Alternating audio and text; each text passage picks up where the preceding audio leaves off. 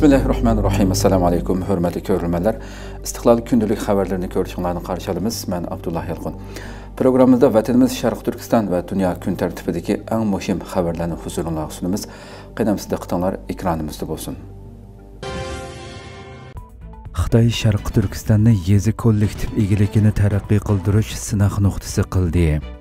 Sharq turkiston xalqiga irqiy qirg'inchilik ijro qilishni davomlashtirayotgan xitoy yangidan maxsus hujjat tarqitib sharq turkistonni yangicha yezi kollektiv egiligini taraqqiy qildirish sinaq nuqtasi qiladiganligini ta'kidladi xitoy xalq to'rining 9 may xabar qilishicha xitoy 2024 yillik atalmish uyg'ur avtonom rayonlik partikomning birinchi nomerlik hujjati nomli hujjat e'lon qilgan. Hujjatda yezi islohotida yangilik yaratishni kuchaytirish ikkinchi navbatlik yer huddigarlik muddati to'shqandan keyin yana 30 yil uzartishni yezi bozor bo'yicha nuqtada sinov qilish xizmati boshlash yezi kollektiv mulk huquqi tuzumi islohotini cho'nqurlashtirib g'ulji shahri guchung nahiyasining yezi uylik yer tuzumi islohotini nuqtada sinov qilish ko'p xil yo'llar orqali yangicha yezi kollektiv egiligini taraqqiy qildirish va zo'raytish vakolatan boshqarishni asos qilgan yezi egilik ijtimoiylashgan mulozimatida yangilik yaratishni nuqtada sinov qilishni qanot yaydirish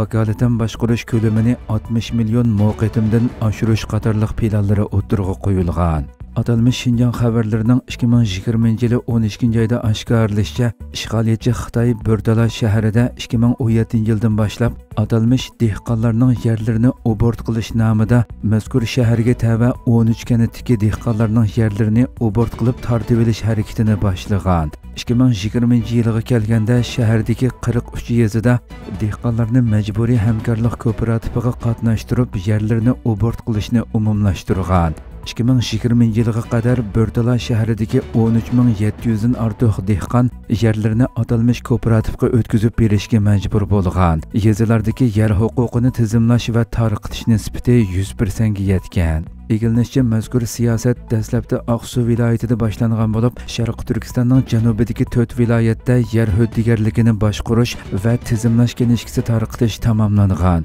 və 2020-ci ilgəcə kooperativ namıda höddəgə alğan ümumi yer meydanı 5 milyon 710 min gektarğa yetkən. Xitay yaqinqi yillarda Şərqi Türkistonda oldi bilan har xil tökmatlar bilan yezi kəndlərdəki dehqonlarni turma jazo lagerlariga so'lg'andan boshqa ularning terilg'u yerlarini xitoy oqqullarga bo'lib bermoqda yoki har xil vositalar bilan hamkorlik kooperativiga berishga majburlamoqda andin yerlardan ayrilgan dehqonlarni atalmish eshinchi amgak kuchi qatoriga kirgizib xitoy o'lkalariga surgun qilmoqda orqadan har xil nomlar bilan sharqi turkistonga xitoy oqqullarini yerlashtirmoqda xitoy bu qatim tarqatgan atalmish yangicha yezi kollektiv egiligini taraqqiy qildirish haqidagi hujjat dal xitoy sharq turkistonda ijro qilayotgan dehqonlarni majburiy hamkorlik kooperativiga qatnashtirib atalmish yerlarni obort qilish nomida yerlarni tortib olish jinoyatini texmi kengaytib yo'l qo'yganligidan derak bermoqda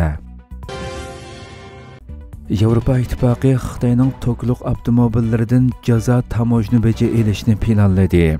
Yevropa ittifoqi Xitoyning to'kliq avtomobillaridan jazo tamojni beja elishni planlagan bo'lib, Germaniya bu planga qo'shilmagan. Fransiya xalqaro radiosining 10 maydagi xabarida bildirilishicha, Yevropa ittifoqi o'z bozorini qo'g'dash uchun Xitoyning to'kliq avtomobillaridan jazo tamojni beja elishni planlagan bo'lib, bu plan Germaniyada qarshi inkas qo'zg'agan. Germaniya qatnash ministri Volker Wissing Xitoyga jazo tamojni beji qo'yishni rad qilgan bo'lib, BMWning bosh direktorimi jazo tamojni beji yo'l qo'yishga qarshi chiqqan. Germaniya qatnash ministri Volker Wissing jazo tamojni beji elishni rad qilgan bo'lib, u bu haqda biz davlat ishi bozorini cheklashni xohlamaymiz, balki o'zaro raqobatlashimiz Shunglashqa Germaniya jazo tamojni beji orqali iqtisodiy urush qo'zg'ashning o'rniga xalqaroda odil va qiyliblashgan raqobat muhitiga ega bo'lishni umid qiladi degan. U yer shari savdosiga tayindigan Germaniyaga o'xshash davlat uchun savdoning intayin muhimligini ta'kidlab, yer shari savdosiga tayindigan Germaniya uchun savdo intayin muhim. Biz dunyo uchun ishlab chiqarimiz kelgusida davomli shunday qilishni umid qilamiz. Mahsulotlarimizning sifati jihatda xalqaroda oldingi qatorda turimiz degan. Xabarda qayd qilinishicha yevropa ittifoqi xitoyning tokliq avtomobillarga jazo tamojni beji qo'yishni planlayotgan bir paytda germaniya ishlab chiqaruvchilari xitoyning o'z navbatida yevropa avtomobillaridan jazo tamojni beji elishidan ansirgan. Germaniya avtomobil ishlab chiqaruvchilar uchun eng muhim dunyo bozori bo'lib, ular savdosining ko'rinarlik ziyonga uchrashidan ansiraydi ekan.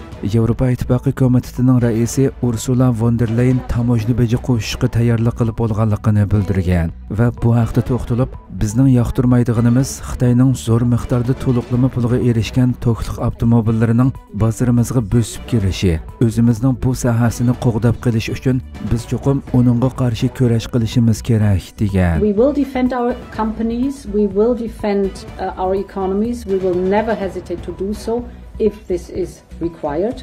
The world cannot absorb China's surplus production. Xitoyning Kambodjadagi harbiy mavjudligi andisha paydo qilmoqda.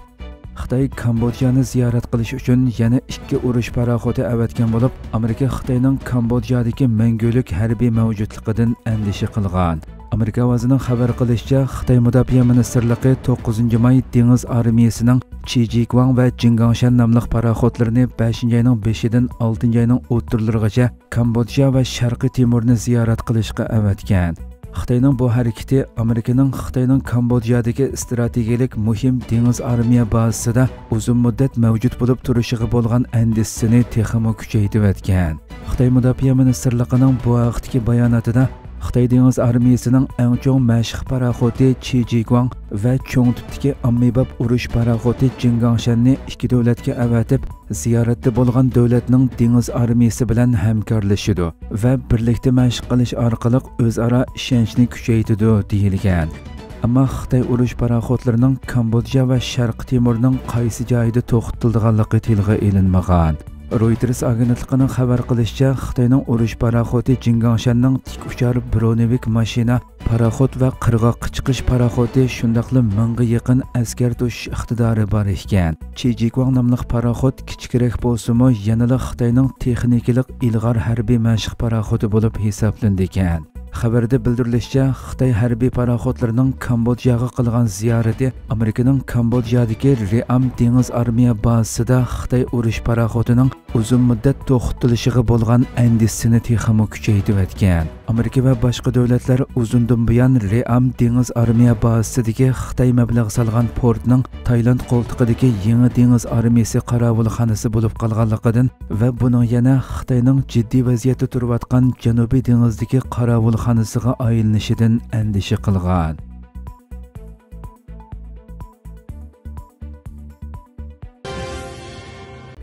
yevropa ittifoqi falastin davlatini e'tirof qiladigan davlatlarning ismlarini e'lon qildi yevropa ittifoqining tashqi munosabat va bexatarlik siyosati oliy vakili josep borel ispaniya malta irlandiya va selovoniyaning falastin davlatini e'tirof qildiganligini aytdi Josep Borrell Ispaniyaning yerlik radio kanalı RNE'nin Ispaniya, Irlandiya, Sloveniya va Yevropa ittifoqidagi boshqa davlatlarning Falastin davlatini e'tirof qildigan vaqti bekitildimi yo'q degan savolga javob bergan.